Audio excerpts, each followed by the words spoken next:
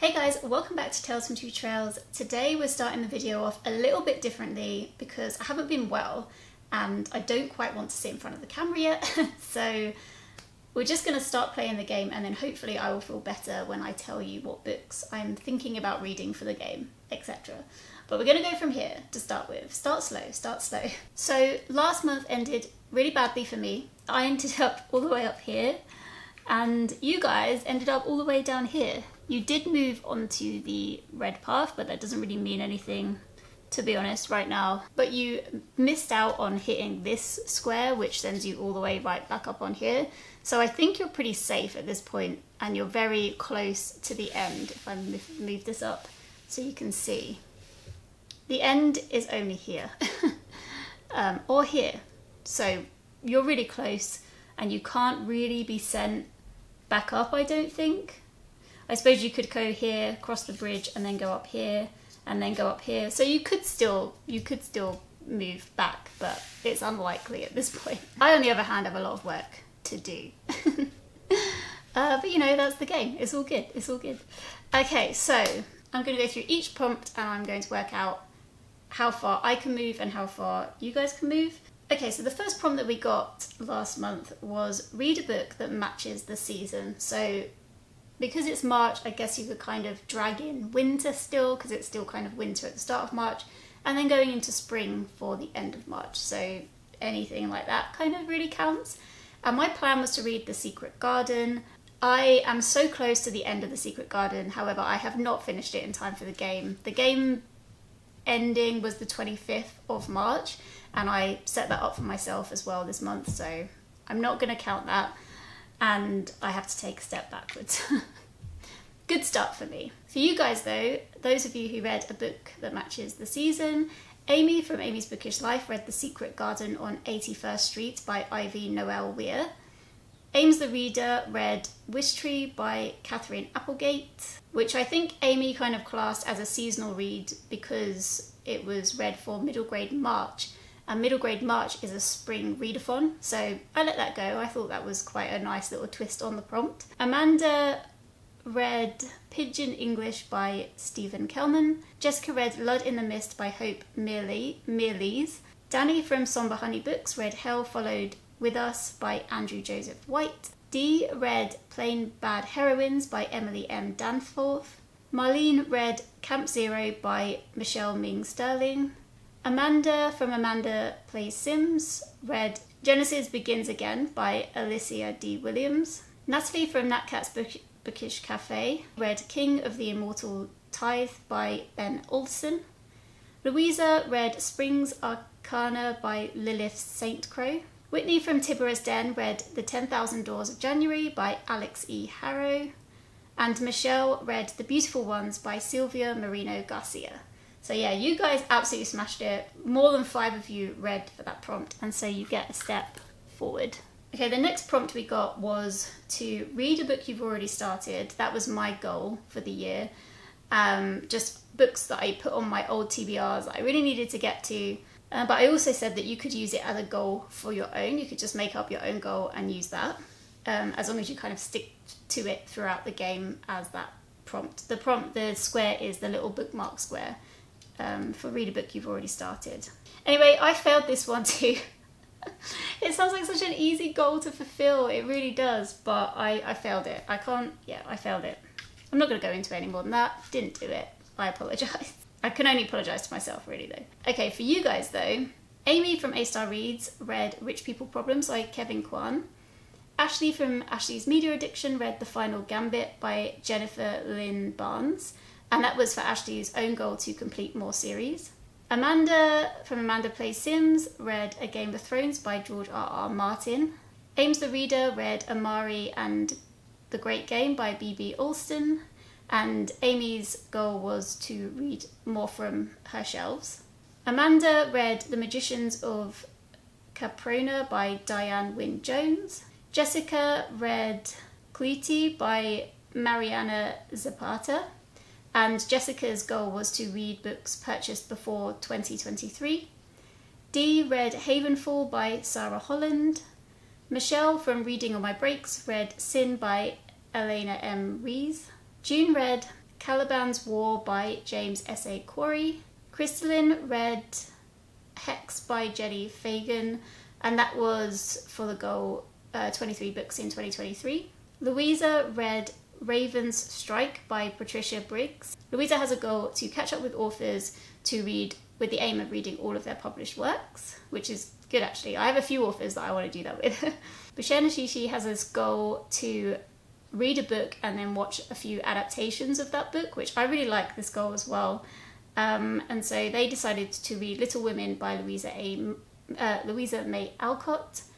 And finally, we've got Michelle who read Pride and Premeditation by Tirzah Price. So yeah, you guys again smashed it. I mean, I'm never gonna beat you guys. Prompt number three was to reread an old favourite, and for me, I had to go back to a video that I made and read one of the books from there. And I ended up reading The Restaurant at the End of the Universe by Douglas Adams. And yeah, so I take a step forward. I did it. Woohoo! Okay, for you guys, we've got Amy from Amy's Bookish Life who read Love That Dog by Sharon Creech. Aimz the Reader read Written in the Stars by Alexandria Bellefleur. Amanda read James and the Giant Peach by Roald Dahl. Jessica read Radiance by Grace Draven. Amanda Play Sims read Finding Home by Amelia Finn. June read Shane by Jack Schaefer. Cristilyn read Bridge of Birds by Barry uh, Hughart. Natalie from Natcat's Bookish Cafe read The Hanged Man by K.D. Edwards. Louisa read Ink and Bone by Rachel Caine.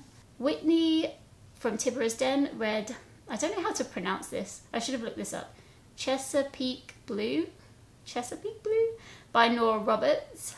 And Michelle read The Mystery at Lilac Inn by Carolyn Keene. So again, another step forward for you guys. Prompt number four was to read another person's favourite book, and for this I was originally going to read Rebecca by Daphne du Maurier, and I have been reading Rebecca by Daphne du Maurier. However, I have not finished it in time. So I twisted this one and I ended up picking Frostheart book number three, Rise of the World Eater. And my argument for that is that it's Gavin Hetherington's favourite series, one of his favourite series. And I picked up this series because of Gavin's recommendation as one of his favourite series. So I'm using that. I don't know Gavin personally but I'm taking the recommendation anyway. So yeah, I needed to move forward, guys. I needed to move forward. So I'm taking a step. There we go. So for you guys, for somebody else's favourite book, Amy from Amy's Bookish Life read Jefferson's Sons by Kimberly Brubaker Bradley. Ashleigh from Ashleigh's Media Addiction read I Heart London by Lindsay Kelk. Aimz the Reader read Mad Honey by Jodi Picoult and Jennifer Finney Boylan. Jessica read Rise of the World Eater by Jamie Littler. Like me, I'm very excited about that. I like it when I end up reading the books at the same time as somebody else. Uh, yeah, so Jessica, I'd love to know your thoughts on that one. Danni from Somber Honey Books read One Last Stop by Casey McQuiston because that was her best friend's favourite. Dee read The Atlas Six by Olivia Blake. Michelle from Reading on My Breaks read Rock Chick Renegade by Kristen Ashley. Louisa read Love and Other Words by Christina Lauren. Whitney from Tibbara's Den got a recommendation of her sister and read What Lies in the Woods by Kate Alice Marshall. And finally, Michelle read Five Days Left by Julie Lawson Timmer. And so, another step forward. Well done, guys. if you get the next two prompts, then you're going down the waterfall. Can you see this? If you go down here, then you're going round the waterfall, and then you're so close to the end. Not happy about that. Prompt number five was to read a book that had 200 and something pages. And for that, I actually used a book that I finished just at the start of March, but that's in the rules, that's fine. and I'm using Ima- Imago by Octavia E. Butler for that. And that also wrapped up a series, really good series. I'll talk about that soon when I finally do wrap ups on this channel. I am beginning to feel better, so hopefully I could start filming some videos soon. so yeah, I can take a step forward. Woohoo! Um, okay, so for you guys, Amy from Amy's Bookish Life read The Many Mysteries of the Finkel Family by Sarah Kapit. Amy from A Star Reads read I Married a Merman by Regine Abel. Jessica read Transcendent Kingdom by Yaa Gyasi. Danni from Somber Honey Books read The Icebound Land by John Flanagan. Dee read Hydra by Matt Wesolowski. Michelle from Reading on My Breaks read Deep Work by Cal Newport. Amanda Plays Sims read Agatha of Little Neon by Claire Luchette. Cristilyn read Crocodile on the Sandbank by Elizabeth Peters. Louisa read Of Triton by Anne Banks. Whitney from Tipper's Den read Lessons from Lucy by Dave Barry. Leanna read Sea of Tranquility by Emily St. John Mandel. And Michelle read Leave Me Breathless by Kate J. Blake. And so, yeah, that is another step forward. The final prompt that we got last month was to read the first book in a series, and I read The Bone Season for the Bookstar read alongs, and I read it in time. So I get a step forward. And that means that our first prompt this month is another goal number two, whatever you chose for goal number two, or for me and everybody else who wants to use this prompt, it's to read a book you have already started. So this bodes well for me because now there's even more on the list that I did not complete. and so for you guys, let's just move me out of shot. We don't care about my piece anymore, it's too far up. Um, uh, yeah, so you guys, for read the first book in a series, we had Amy from Amy's Bookish Life, who read Dial A for Aunties by Jesse Q. Sutanto. Aimz the Reader read Mistwick School of Musicraft uh, by Jessica Khoury. Amanda read Maus 1, A Survivor's Tale, My Father Bleeds History by Art Spiegelman. Jessica read The Sunbearer Trials by Aidan Thomas. Danni from Somber Honey Books read Cinder by Marissa Meyer. Dee read The Wrath and the Dawn by Renee Ahdieh. June read Shadow and Bone by Leigh Bardugo. Cristilyn read Spy Times Family Volume 1 by Tetsuya Endo. Louisa read Reawakened by Colleen Houck. Whitney from Tipper's Den read Sea Swept by Nora Roberts.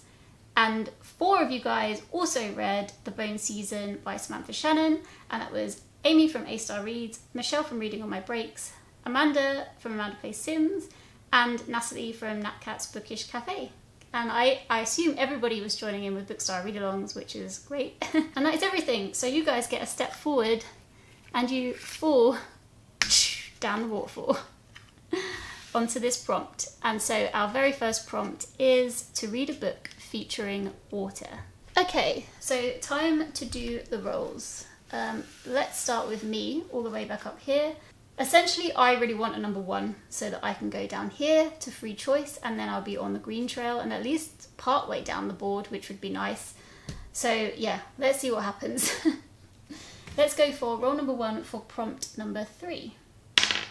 Four. Okay. So one, two, three, four. This is YouTube. So this prompt is essentially just scrolling through your YouTube feed until you come across a video that's either a TBR video, haul video, or wrap up video, something like that, a vlog even, something where specific books are the focus of that video. And as soon as you find a book that is easily available to you or that you already own, have on your TBR, have on your radar, then you just essentially just read that book. so yeah, kind of like Instagram feed prompt or a Goodreads feed prompt, but just using YouTube. Okay, so going to your prompt, you have to go around this lake, and so you can go either clockwise or anti-clockwise, it doesn't matter. But this is like the good lake, this is the nice lake, and this is the terrible lake. So we're going round a good lake, so all the prompts will be nice, which is really great for us, for everybody. So yeah, we'll just have to see what happens. Obviously you guys can't choose which prompt or which way around the lake we go, so I'm gonna have to choose for you, but I'll try to be nice about it. I have to be nice because it's a nice lake. Okay, so let's go for roll number two for prompt number four. Three. Okay, so we go one, two, three. This prompt is to read a book by a favourite author. Or one, two, three. This is to read a book that you love. So this is like reread a favourite again, I think.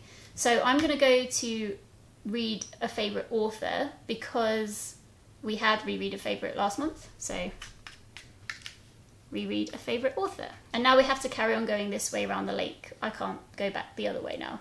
We have to go anti-clockwise.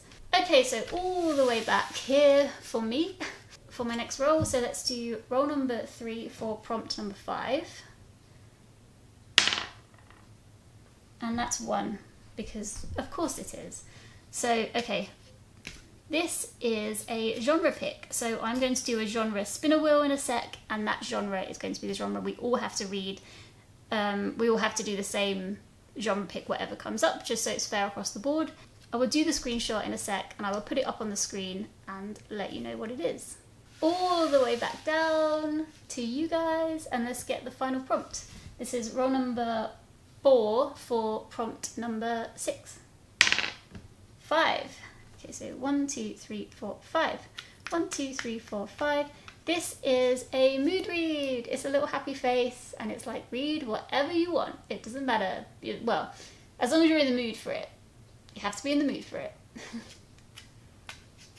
okay, so that's it guys. I don't know if I'm going to be doing a little clip or not. So if not, I'll just finish with I'm all the way up here, classic. You know, I am moving slowly. I've gone around a couple of turns. I'm up here. It's tragic, as usual. And you guys are down here by the lake and you can come out and carry on moving down the green path.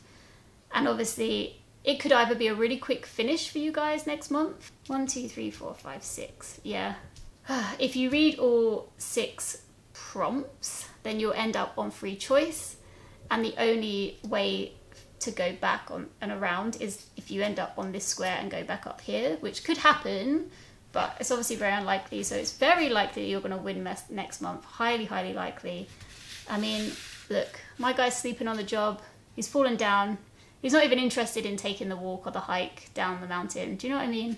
Like, slacker. So yeah, next month will be a giveaway if you guys win. So I'll start thinking about how I'm definitely going to do that.